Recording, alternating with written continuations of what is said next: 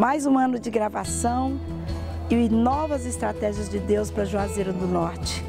É muito especial para nós, dentro de tantos anos, Deus tem feito tantas coisas e de uma forma sobrenatural. Mais uma vez, Ele tem manifestado a glória dele sobre essa terra.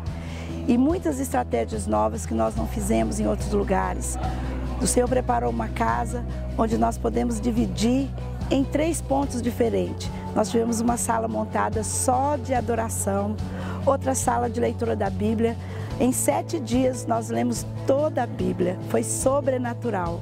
24 horas de leitura bíblica, 24 horas de adoração e 24 horas com a sala de intercessão, onde os guerreiros estavam ali guerreando as batalhas, buscando a direção de Deus sobrenatural. Nós tivemos também 12 horas de adoração e foi sobrenatural. As igrejas se revezando, cada duas horas era uma igreja, o corpo de Cristo se unindo e trazendo a glória de Deus para Juazeiro do Norte. Todos os dias nós estávamos no parque, dez dias que nós estamos na cidade, todos os dias, três vezes ao dia, nós estávamos no parque orando, clamando, abençoando toda a montagem, cada detalhe dessa gravação nós colocamos diante do Senhor, porque nós entendemos que sem Deus nada podemos fazer. E a glória do Senhor de uma forma tão sobrenatural.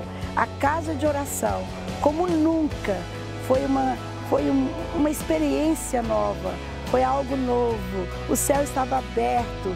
As pessoas chegavam nessa casa e diziam, que diferença! As pessoas que conheciam a casa, pessoas que, moraram, que já moraram nessa casa, é, pode testemunhar da bênção de Deus a diferença do que Deus fez.